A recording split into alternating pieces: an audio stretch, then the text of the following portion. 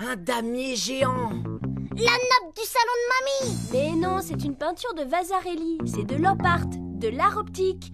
On en a un dans le salon. Ah oui, je me rappelle maintenant, on en voit parfois dans les rues, derrière les panneaux publicitaires. Pourquoi il met des tableaux aussi grands dans la ville, le peintre? Bah comme ça, les gens les voient et en profitent. C'est de l'art à la portée de tout le monde. Pour regarder, mais pas pour peindre, faudrait être drôlement calé en maths et en géométrie. Je ne sais toujours pas ce que ça représente. Mais rien, c'est un assemblage de formes géométriques, des ronds et des carrés, qui devient une autre forme quand on la voit de loin. Comme une illusion d'optique, quoi. Regarde, on dirait qu'il y a un trou dedans.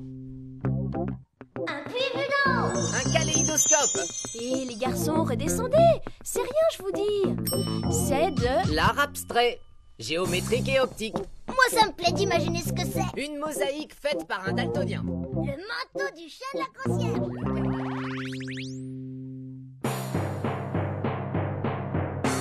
Rêve, Victor Vasarely.